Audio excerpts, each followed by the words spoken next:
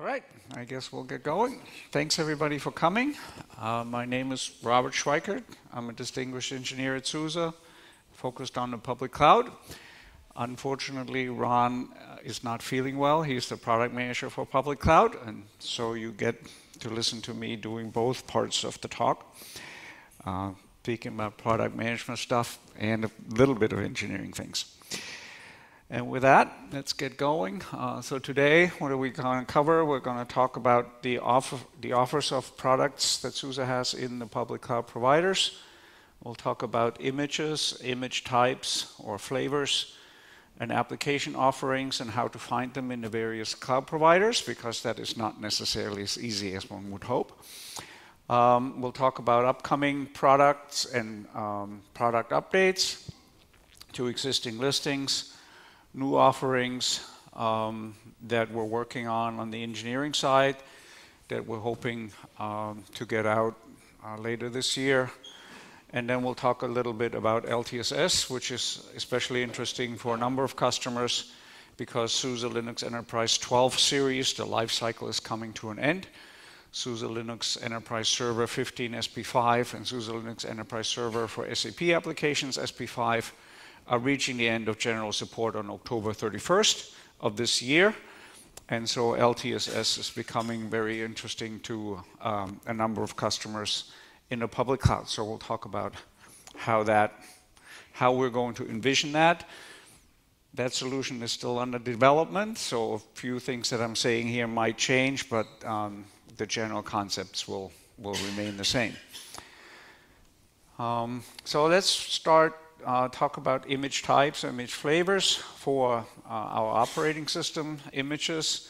So that is SUSE Linux Enterprise Server, SUSE Linux Enterprise Server for SAP, uh, SUSE Linux Enterprise Micro, and uh, also SLE HPC, SUSE Linux Enterprise HPC, which is a product um, up until 15 SP5 and in SLE 15 SP6, it will become a module again, like it was in SLE 12. Um, so first of all, we have uh, pay-as-you-go images. So those are, if you start instances from those images, you get built by the hour by the cloud provider, either Amazon, Google, or Microsoft. They run by the hour. Uh, you know, they're good for bursty workloads uh, or workloads that have a well-defined use of operation if you turn them off overnight. If you run a workload 24 7, um, pay as you go will be more expensive than if you're going with a bring your own subscription model, right? Um, pay as you go gets supported by the cloud service provider for level one and level two, and then we provide, SUSE provides level three support to the cloud service provider. So you get your support if you're using pay as you go you would call Amazon support and they will help you. And if, if they determine that it's something that's only SUSE can fix, then they call us. And then we work with Amazon and then they are, your, they are the front end for support for you. If you have bring as your own subscription, it means you use your existing registration keys that you have for SUSE Customer Center. You start an, an instance from one of those images, you register it with SCC, you can also register it with the SUSE update infrastructure. And what the SUSE update infrastructure is, I'll talk about that later in the presentation. On-demand images, you do not have a registration key for SCC, so you need to get updates in a different way, and that's what the uh, update infrastructure does in the public cloud. And on-demand instances will register themselves automatically to the update infrastructure. So the minute you log in, you have repositories and you can run zypper zypper up or install any packages that, that are in the repositories that are part of the product that you're launching. So those are the primary uh, differences. And with the bring your own subscriptions, you can use uh, SUSE add-on features. At the moment, LTSS, for example, or kernel live patching. Um, and again, LTSS we plan to support for pay-as-you-go, and we'll talk about that later. Um, but at the moment, add-on features are only available for BYOS instances. So that, again, that would be live patching, for example. Okay, um, then applications, so um, Rancher, Manager, NeuVector, um, these are the Kubernetes applications, and then SUSE Manager is a VM-based application. Pay-as-you-go offers for these are available in the marketplaces. Um, SUSE Manager is not available in Google because they do not offer the features that we need to make that product available, available through their marketplace. So pay, pay as you go SUSE Manager is only available in AWS and, and in Azure. Uh, Google are working on the features that we need to make that work. And then when they're implemented on the framework, we'll bring SUSE Manager to Google as well as pay as you go.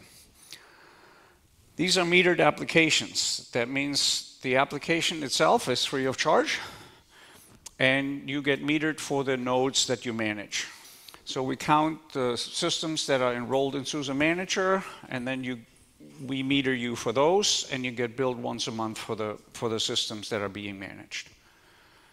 Um, for SUSE Manager, we count the maximum numbers of systems that you had connected in, in any given month. And again, you get billed on a monthly basis. For Rancher and NeuVector, we bill on an average, right? Because the containers go up and down, clusters go up and down, and so we, we average the managed resources over a month, and then that's what you get billed for. For NeuVector, there's also a volume discount. So NeuVector, you can set up that, uh, that there is a so-called master instance, and then if you have other NeuVector um, setups in other clusters. You can connect all those, and then we bill through the to the primary instance where through the primary cluster where NeuVector is running. That way, you manage more resources, more clusters, and then you get a volume discount. Uh, that volume discount is not available for Rancher. If you need, uh, if you are interested in having volume discount for Rancher, talk to us. We can get a private offer, and then you can also get the volume discount. But if you're just doing pay as you go, you cannot get the volume discount for Rancher at the moment. Okay, image listings. So these are um, our products across the top. You can see the applications. NeuVector here on the right, Rancher, SUSE Linux Micro, uh, SUSE Manager is not on here. SLES for SAP, SUSE Linux Enterprise Server. In AWS, SLE 12 and SLE 15. Again, SUSE Linux Enterprise Server 12 SP5 is reaching the end of its life October 31st of this year. These are available uh, hourly and annual, and um, pretty much in all frameworks, right? Um, and then, uh, so AWS, and then in Azure and in Google. And then again, you, each of these is a flavor of BYOS and, and pay as you go, right? So the hourly would be the pay as you go offering, and when you see annual here, that would be the BYOS, right? Because if you get uh, an entitlement from SUSE, to use with a BYOS instance, then that is a yearly transaction. Uh, AWS um, also offers uh, committed use discounts, right? If you buy, like, if you get a reserved instance, then you get a discount, which is also cheaper than the hourly price, right? So if you're looking at moving something into production that you know the whole will be running 24 7. Reserved instances is a good way. Uh, private offers, which is basically BYOS. But private offers get transacted through the, through the cloud service provider, so in AWS, for example. And then you can uh, take advantage if you have a committed spend agreement with Amazon, then that counts against that committed spend, right? Uh, similar in Azure and in Google, there's uh, a discount. The more you use, you get a discount automatically, right? So, so it works a little differently. Similar for SLES for SAP, and similar for SUSE Linux Enterprise Micro. Um, and then Rancher, again, uh, these are monthly Rancher, NeuVector, and SUSE Manager, which fell off the chart here. Sorry about that. So these are monthly, which would be the pay-as-you-go offers, and then the annual, those are the BYOS offers, right? When you have a contract directly with SUSE. Uh, and again, the monthly metering is um, based on node counts, right, for both Rancher and, and NeuVector. And Google does not have these at the moment. Uh, again, this is uh, infrastructure related, but we're expecting Rancher and NeuVector to come to Google on a monthly basis sometime this year. All right, uh, some more about the application listings. Um, so the applications are different in, well, Rancher Manager and NeuVector are container listings, and they're coming through the container marketplaces so that your user experience is different, right? So for example, in AWS, if you get a marketplace listing for a container product, you will be presented with the Helm command. Helm install, yada, yada, yada, right? Um, that is the common way to act, interact with your cluster, and so that's what AWS ended implementing. Um, you cannot convert a, so if you have a, let's say you have a Kubernetes control plane running and you installed Rancher, and you want to go to pay-as-you-go model, you cannot convert that running cluster. You have to start from scratch. So you have to set an up another EKS cluster, then go to the marketplace, subscribe to the listing, and then use that Helm chart to deploy Rancher into that new cluster. Then, of course, you can enroll all the downstream nodes that you're managing with, with, with Rancher uh, server and just shut down the other instance of the, of the control plane, right? And the same is true for NeuVector. Um, again, all three applications uh, count the connected nodes, right? Um, and that is what we're reporting, and that will then show up on your bill with the, with the CSP. All right. So how does that metering work, right? So there's a, a, marketplace, a billing API that we that the service providers use, and inside of your cluster, as part of Rancher Manager, there is a container in a control plane that connects to that billing API, and we connect to another container that's running as part of Rancher Manager, and we ask it on a periodic basis on how many nodes are being managed. Then at the end of the month, that gets tallied up and averaged based on the count, and then that is what we're reporting to the Marketplace Billing API, and that's what shows up on your bill. Coming soon, like within the next four weeks, these applications will include a free trial. So you get to run 30 days for free, and then the billing cycle will kick in the next month, right? Uh, so we just finished that uh, implementation. It's currently in testing. Uh, we're through testing on Azure. AWS testing is ongoing. Within the next month or so, we expect this to be published. So they'll have free trials. Um, if you're starting today, you don't have it yet, so uh, if you want to kick the tires, wait a month, and then you get 30 months, uh, 30 days for free for kicking the tires.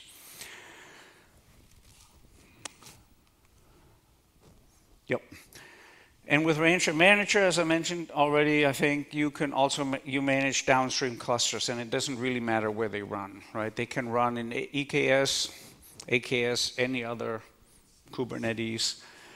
They can run in your data center on RKE2. They can run in the cloud on RKE2. They can run on K3S, right?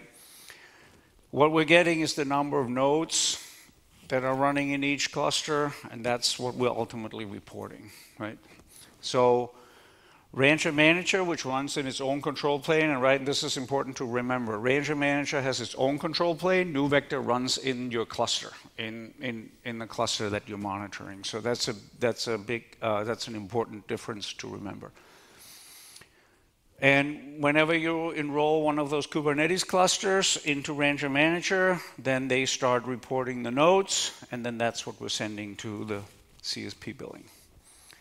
Right. Again, NeuVector is different, right? We count the nodes, but NeuVector runs in your cluster. It doesn't have its own control plane, right? So if you already have a cluster where you're running containers, you deploy NeuVector into that cluster, right?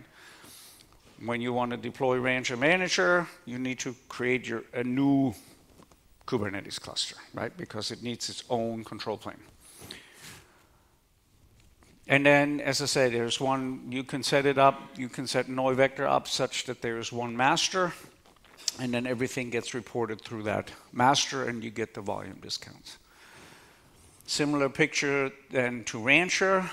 Um, right? And again, we, we report the number of nodes that are running in the cluster, and then that, that is getting built. Um, if you have multiple departments, you don't have to have a master. You can have that cluster also report to the billing, to the billing API if they're running in a different account, for example, right? So you do not have to have a master uh, NeuVector controller. So then there's the private offers, as I mentioned. Uh, you can always come talk to us if any of these setups don't work for you, or if you don't want to go pay as you go, but you still want to use uh, your committed spend with the cloud provider you can come talk to us. We make a contract that then gets uh, transacted through the cloud provider, AWS or Microsoft. So you still get that applies to your um, committed spend with the with Amazon, for example. It then works like a BYOS uh, image or or instance because you will get product entitlement keys from us right? And then once it goes through the private offer, you also get L1, L2, and L3 support from SUSE, no longer from the cloud provider, right? So this is a transaction mechanism to help you with your committed spend with the cloud provider, but at the same time, it's like deal, working with SUSE directly on, on getting your registration keys.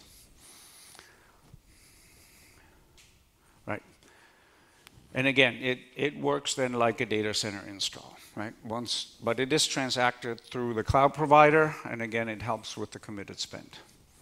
So, uh, yeah, where are we today? What do we have? What is relatively recent?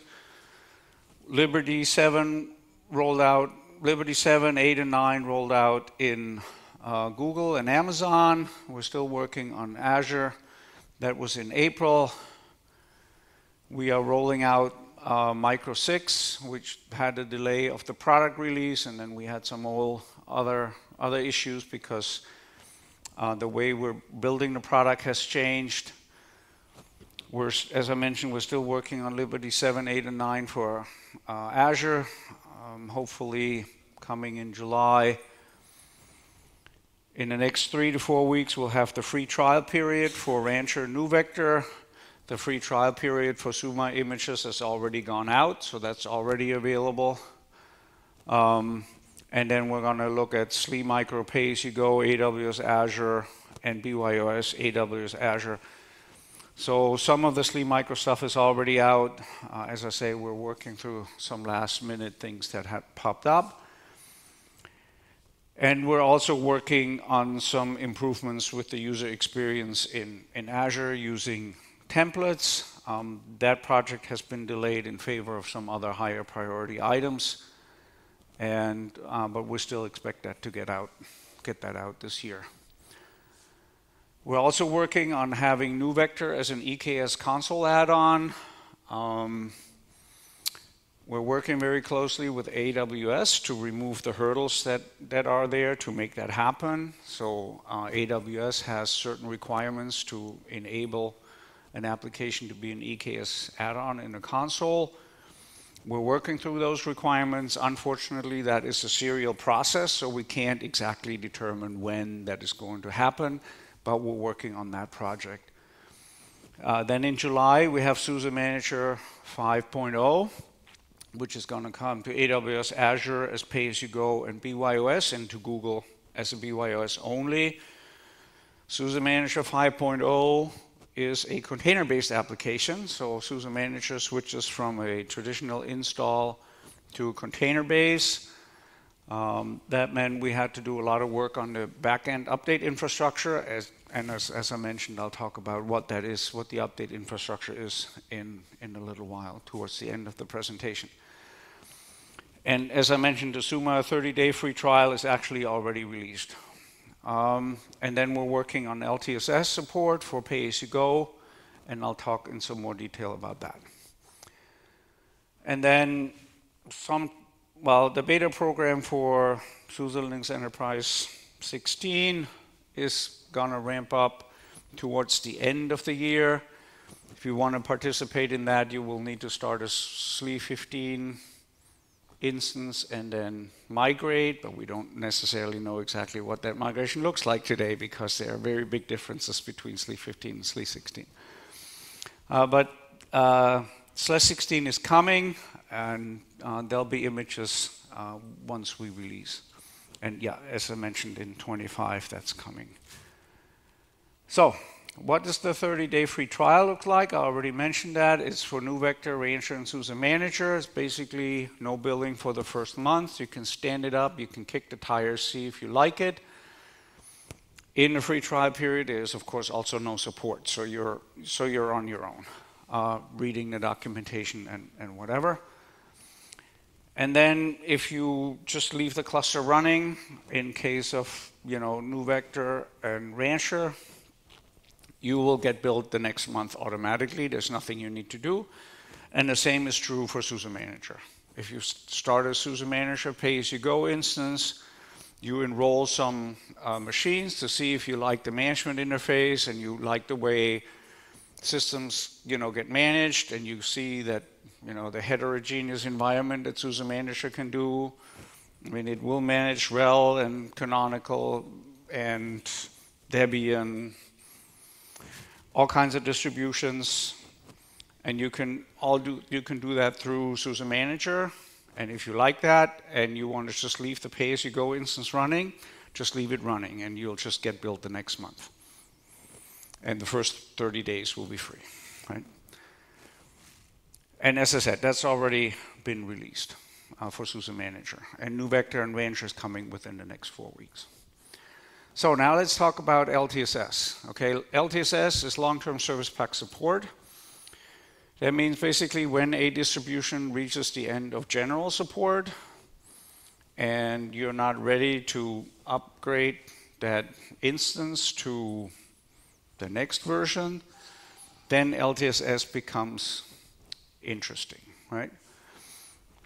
So generally, um, and a distribution that is in LTSS, we consider to be in an inactive state. And that means the images only get refreshed if there is a critical security update. Other than that, the images stay the same. If you do not have LTSS, you can't get these updates, right? So that means when we do, when there is a critical security update and you're running an instance that's, let's say, on SUSE Linux Enterprise Server 15SP2, which is currently still in LTSS, although that's running out at the end of this year, I think. So let's use 15SP3 as an example. Then, which is in LTSS, then you would not get any updates, right? Unless you have LTSS, which currently is a little difficult if you're having um, pay-as-you-go. But we do really, if there is a critical security update, we will refresh those images. So that means you can start a new instance and move your workload over and deal with all of that, right? So this is where LTSS is really helpful. Then you get access to the updates. And um, that keeps your systems running, right? And this is really the image lifecycle here. Um, active images are the current distribution. So at the moment, that is still SLES 12 SP5 and it is SLES 15 SP5, and in July it will become SLES 15 SP6, right? And then next year we will have SLES 15 SP7, which will be the last service pack on the SLE 15 series, right? And then in 25 we'll also have uh, SLE 16. So for active images, they get refreshed every three months automatically. Um, a refreshed image means it will have all the packages and bug fixes that happened since the last time the image was released, right? Uh, and all of those are, of course, also available in the repositories, right? These are, new, these are the current distributions. These are also the distributions where we do uh, enablement. So when the public cloud providers create a new instance type, um, many times there's, it's like hardware enablement basically, enablement ne needed, and that only happens on the active distributions, if it is possible at all. So some things we can't do, like there's a new instance type in Google. Um, we have terrible performance with SLES 12. We can't fix it. It's, it's totally out of scope. Uh, the would be way too intrusive in the kernel and the product is reaching the end of its general support. So that was a no can do, sorry. Customers that need that instance type will need to run on SLES 15, right? Uh, so then inactive images, again, they get refreshed for critical security updates only. So that is CV, CVSS score 9 and higher.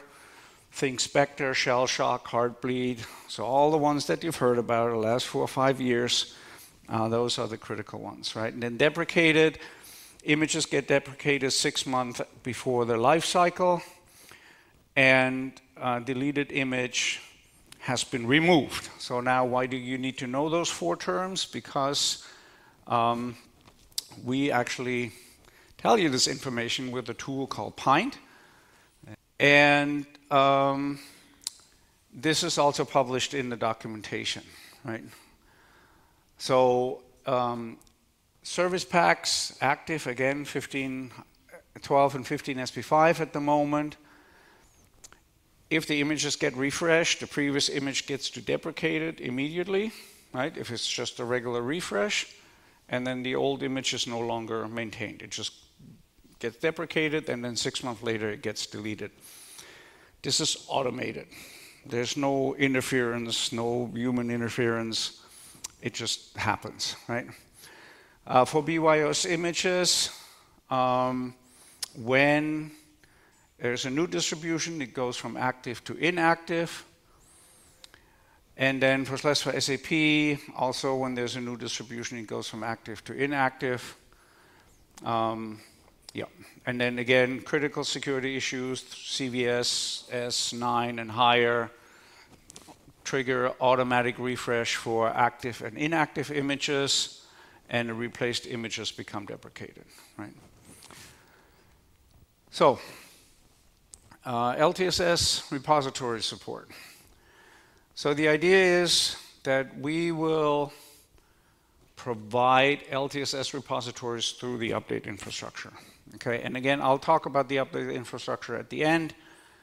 Um, today, if you want LTSS for a pay-as-you-go instance, you end up having to get SUSE Manager, you have to talk to SUSE, uh, you have to get special contracts. It is a rather cumbersome process.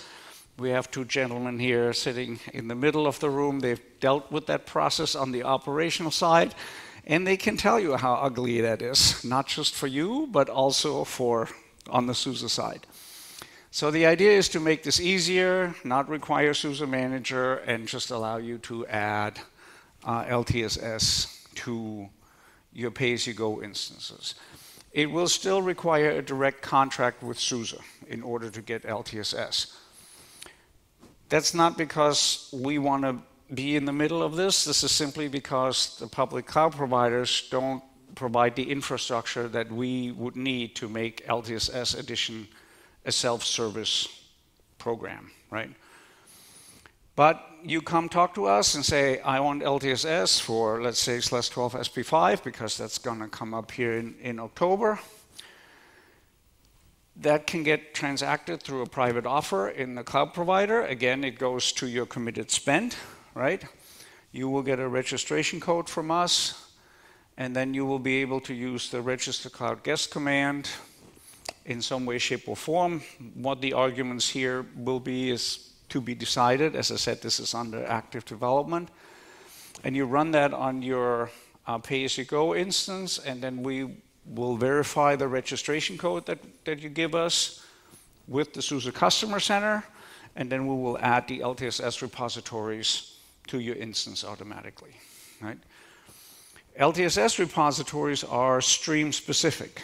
So when you get, for example, the uh, LTSS for 15SP3, that does not carry over to 15SP4, right? So they are, this is service pack specific. And, and then if you go and you get LTSS for 15SP3 and then upgrade to 15SP4 anytime, your 15SP3 LTSS repositories stay on your system, but they're not really useful anymore, right? Because you've upgraded your whole system to 15SP4. Uh, and again, it goes through the cloud provider, AWS or Google, but you're dealing directly with um, AWS. And this is a, uh, uh, directly with SUSE. It's, it's a direct contract with SUSE. But it can get transacted through AWS and or Google. You can also use it in Azure, but you can't transact it in, in Azure, right? So you can get the same feature in Azure with LTSS add-on, but you can't buy it through Azure because they don't want to work that way. All right, so here's the workflow for LTSS enablement on pay-as-you-go instances. Um, there's a contract, right? So for Google and AWS, there's a marketplace listing. You can that that can be used to transact. It goes to your committed spend discount. For Microsoft, you would just contact SUSE directly. Then there will be a contract. You will get product entitlements. You use those with the register cloud guest command and then that connects you to the SUSE update infrastructure. You automatically get the LTSS repositories, and when there are updates in the LTSS stream, you run Zypper up and you get the updates, and everything is just fine. All right, a few miscellaneous things to keep in mind um, before I get to a few words about the update infrastructure. So new instance types, I already mentioned that. Generally, that only happens for active distributions. Um, and sometimes that's not possible either, right? So just, just keep that in mind. We always work very closely when, with the cloud providers when new instance types come, come about. And uh, we try to make sure that everything works before those go GA. And, and again, sometimes features cannot be backported. Uh, when new regions come about, the update infrastructure gets enabled in those regions as soon as possible. Um, again, it requires collaboration between the cloud service provider and SUSE. Um, access to the update infrastructure requires access to the instance metadata server in all three providers, although Google and um, Amazon allow you to turn access to the instance metadata service off, and you can turn that off. You just can't connect to the update infrastructure then. And access to the update infrastructure also requires internet access from the instance. It doesn't have to go through the cloud provider. So if you have a VPC that you don't want to go out to the internet and you have some routing that goes through your firewall in your corporate data center, that is perfectly fine. Right? But we need internet access from the instance in order for you to use pay-as-you-go. You don't have to do have to have that if you're using BYOS. Okay. Um, requests for features go through the CSP, uh, or if you're using BYOS, go through your regular SUSE sales contract. Um, and then if you're using BYOS, you have an SCC account, that's where you would file your support requests anyway, right? So then that's all the same. Live demo. Okay, so now I said update infrastructure about 20 times in this talk. And so let's say what that is. The update infrastructure is basically there to solve one problem. And that is in the data center world, there's a salesperson and there's you as the customer. And you guys get together and there's some negotiation about a contract. And then after all the deal is signed, SUSE sends you out some magic numbers. And then when you install SUSE Linux Enterprise Server, you type in those magic numbers, and then you get connected to the SUSE Customer Center. Pay-as-you-go doesn't work that way. We have no way to send you magic numbers. So we needed some other way to deal with that. And the other way to deal with this is to get information from the instance metadata service, which I just mentioned, which is why we need that, right? And so basically the update infrastructure is a collection of servers, two types of servers. One set of servers are called the region servers. And these are distributed through the cloud framework. There are four or five of those in, in each provider. And the other servers that, we are, that are part of the update infrastructure are the update servers. And there are generally three per region. And if you count up all the regions in Google, Azure, and AWS, um, then all of this makes about 320 servers that we're running these days. The update infrastructure is run and operated by SUSE. We have a dedicated team for that.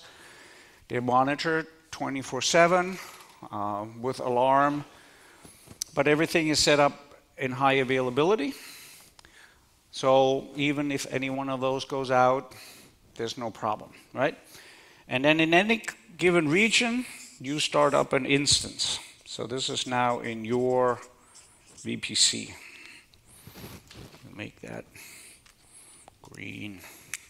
So this is your domain. So what happens then at first is that this instance, the image has some magic built in and it knows how to find the region servers. It connects to the region servers and says, hey, I'm here. Tell me where I should register myself. And the region server is basically nothing but a map that says region X has these three servers locally and so it sends back that information. And then once this instance knows what to connect to, it will reach out to the update servers, send the instance metadata along, which then gets verified here, and then the re repositories are sent back. And all of this replaces the magic code that you get when you have a connection to SCC. And again, these are region local, so that means no network charges, and it is extremely fast, right? Because everything is in the same region, it runs on the same network uh, as the cloud provider. You can also take advantage of this region local update infrastructure if you're running BYOS instances. This is not just for pay as you go. So sometime last year we introduced the support that you can connect this instance with your BYOS registration code to the update infrastructure. What happens then is you send the registration code along with the instance metadata to the update infrastructure. The update servers go back to SCC.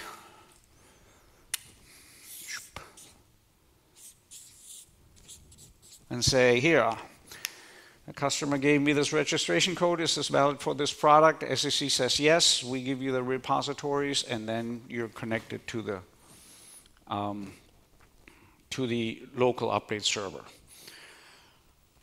You are always connected in a one-on-one -on -one connection. Should that one go down that you're connected with, the client knows how to find the next one or the next one. But it always stays in that region, right? So the HA is implemented on the client, and there are always at least three of these. And so that's how that works in in general. Thank you for attention. Have a great day and.